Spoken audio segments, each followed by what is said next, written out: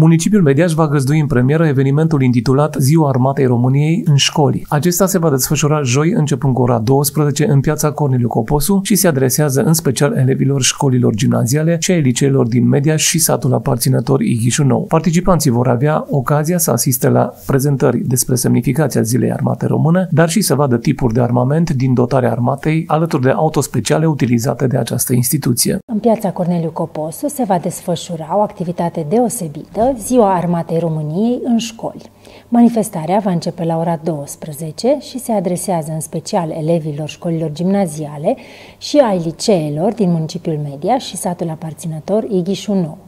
În cadrul evenimentului, multiple echipe formate din elevi, studenți, militari și istorici vor prezenta semnificația Zilei Armatei, misiunea instituției militare, tipuri de armament din dotarea armatei, dar și autospeciale utilizate de aceste instituții.